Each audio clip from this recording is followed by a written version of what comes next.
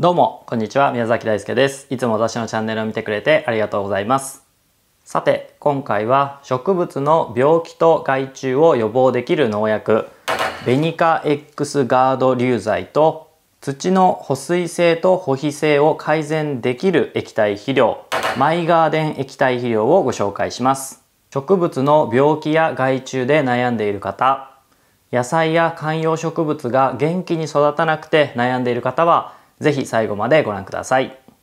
まずは植物の病気と害虫を予防できる農薬ベニカ X ガード流剤の説明をします。病気や害虫が花や野菜に発生して困っている人は多いと思います。スプレータイプの農薬もありますが、匂いがしたりとか周りに飛び散ってしまうのが気になるという方もいらっしゃると思います。そんな方にぴったりなのがこちらのベニカ X ガード流剤です。住友化学園芸さんと農研機構さんが共同開発された家庭園芸初の殺虫殺菌流剤で特許出願中だそうです。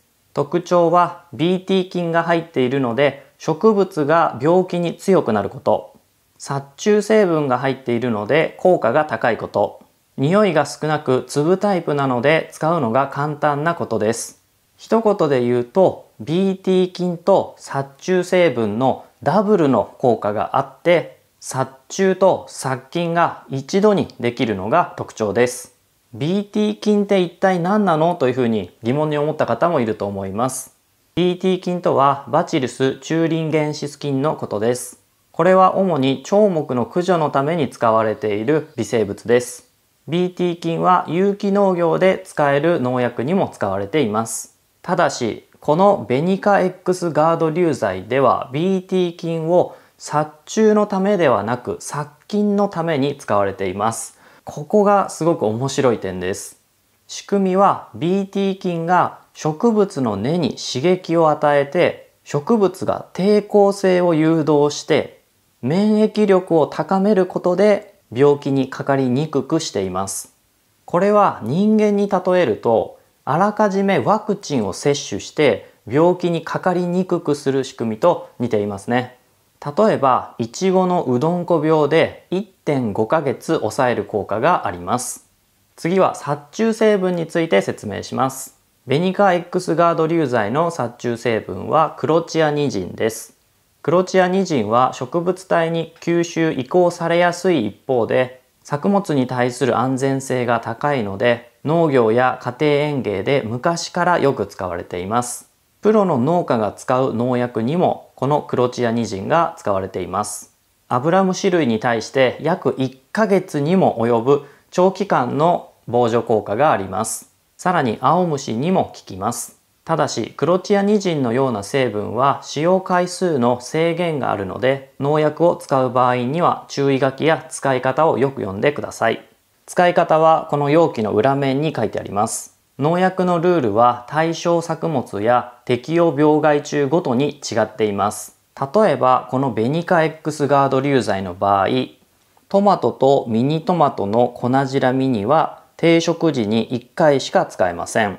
しかしトマトとミニトマトのアブラムシ類には3回まで使えます。なのでトマトとミニトマトについては合計4回まで使えます。キャベツやブロッコリーを育てる時には植え付けの時に一度しか使えません。このように裏面に記載されている農薬の使い方をよく読んで使うようにしてください。では次はこのベニカ X ガード流剤の使い方を説明します。ではここからはベニカ X ガード流剤の使い方を説明します。使うタイミングや使用量は野菜ごとに違いますのでその点はご注意ください。今回はキャベツを使ってみましょう。こちらにプランターとキャベツの苗を用意しました。これぐらいの大きさのプランターでしたらキャベツの苗は2株植えられます。ベニカ X ガード流剤は白菜とブロッコリーは1株に 5g キャベツは青虫が目的の場合は 10g 使います。ではまずは植え穴を開けてそこに流剤を入れましょう。植え穴を開けます。今回はこのペットボトルのキャップを使って量を測ります。このペットボトルのキャップ8割ぐらいまで入れると 5g になります。はい。これくらいで OK です。見た目はこんな感じです。匂いは少ししますが嫌な匂いではありません。これを上穴に入れます。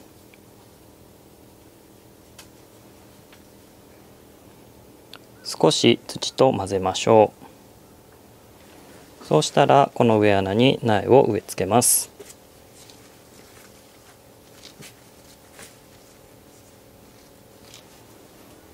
はいこれで OK です。こちらも同じように行います。はいキャベツの植え付けが終わりました。白菜やブロッコリーも同じように植え付けられます。ミニトマトやナス、ピーマン、キュウリは収穫前日まで使えます。これでうどんこ病やキュウリやナスのアブラムシを予防してくれます。野菜ごとに適用病害虫は異なります。それでは栽培中のピーマンに使ってみましょう。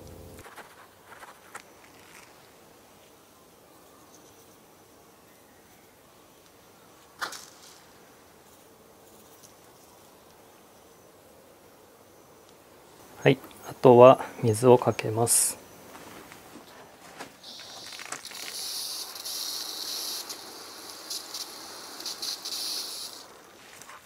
ピーマンは収穫前日まで使えるのでこちらを散布してから24時間は収穫をしないようにします。24時間経過すれば収穫ができます。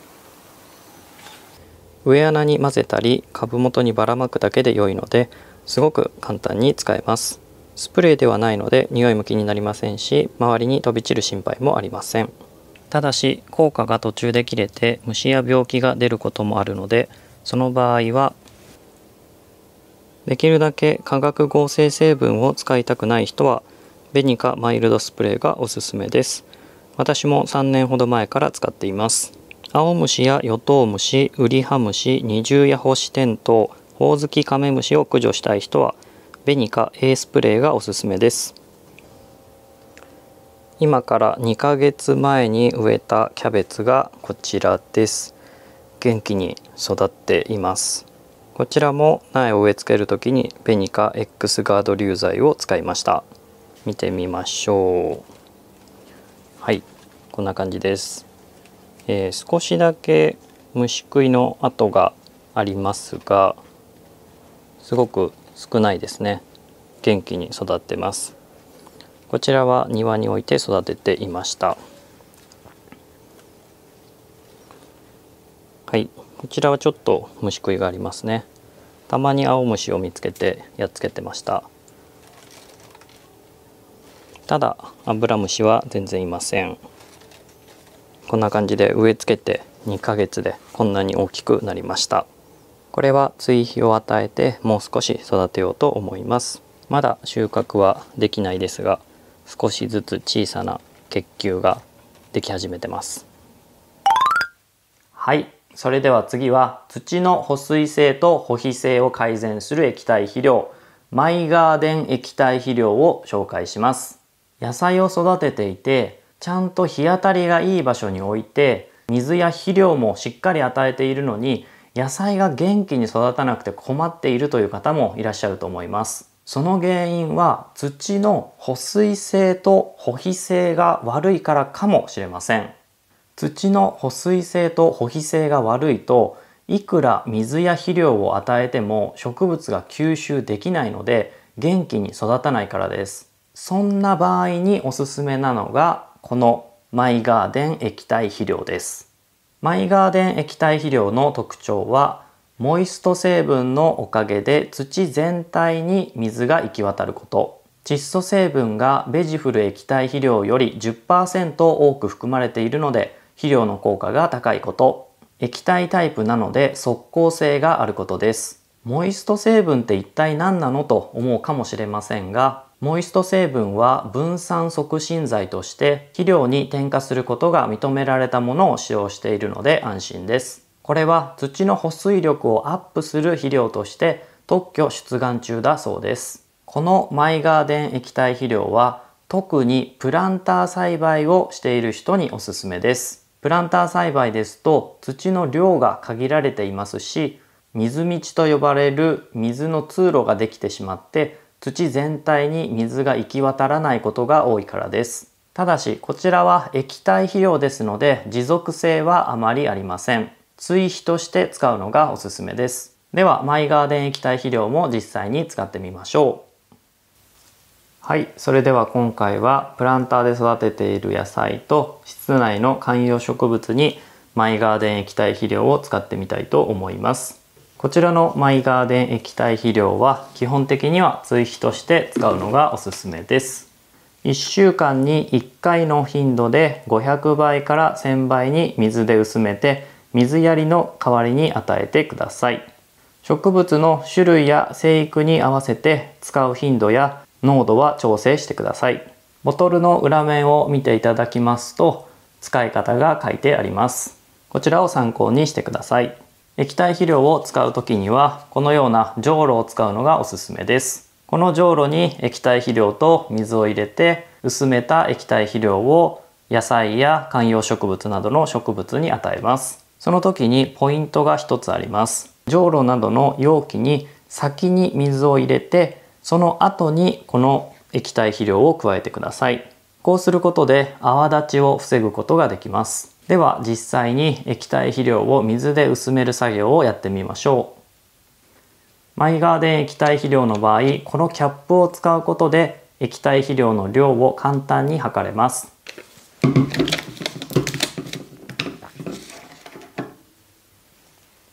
こちらのキャップ1杯は約 20ml です。半分まで入れますと 10ml になります。キャップの底面のくぼんな部分は約 2ml が測れます。今回は 2ml を測って 2000ml の水で薄めて1000倍の液体肥料を作ります。ではまずはこちらのじょうろに水を 2000ml 加えます。こちらの 500ml のペットボトルで測ります。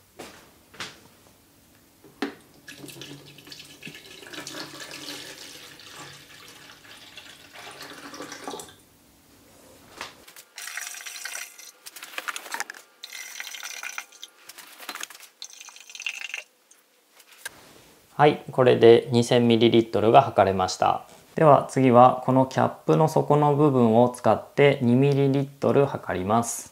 では 2ml 測ります。はい、これで 2ml 取れました。ではこの液体肥料を水に入れます。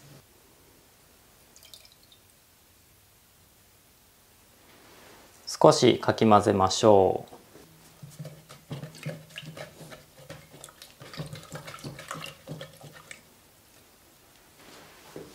ちょっと匂いを嗅いでみます。匂いは全くしません。匂いが全然しないのでベランダや室内で育てている植物にも使えます。それではこれをプランターで育てている野菜や植木鉢で育てている観葉植物に与えます。はいここにあるのはプランターで育てているキャベツです。2ヶ月ぐらい育ててこんなに大きくなりました。これからマイガーデン液体肥料を追肥として与えたいと思います。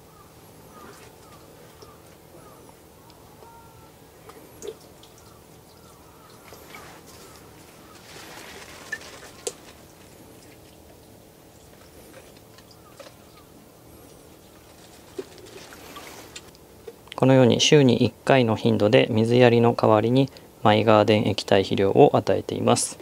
おかげでこんなに元気に育ちました。はいそれではこちらの液体肥料をこの観葉植物に与えてみます。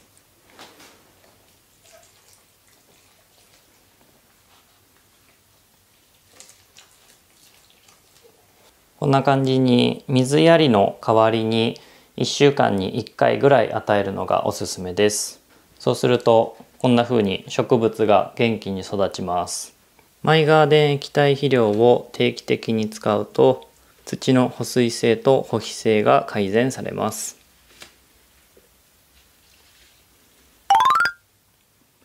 はい。というわけで今回は植物の病気と虫の予防ができる農薬ベニカ X ガード流剤と土の保水性と保肥性を改善できる液体肥料マイガーデン液体肥料を紹介しました。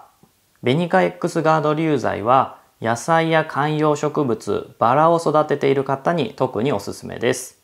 マイガーデン液体肥料はプランターや植木鉢で野菜や観葉植物を育てている人に特におすすめです。ベニカ X ガード流剤とマイガーデン液体肥料に興味を持った人は概要欄にリンクがありますので是非そちらから見てみてください。では今回の動画が面白かった役に立ったと思ったら是非高評価お願いします。質問や動画のリクエストがある人は下のコメント欄に書いてください。これからも農業や家庭菜園観葉植物などいろいろな動画をアップしていきます。是非チャンネル登録お願いします。では次の動画で会いましょう。ではまた。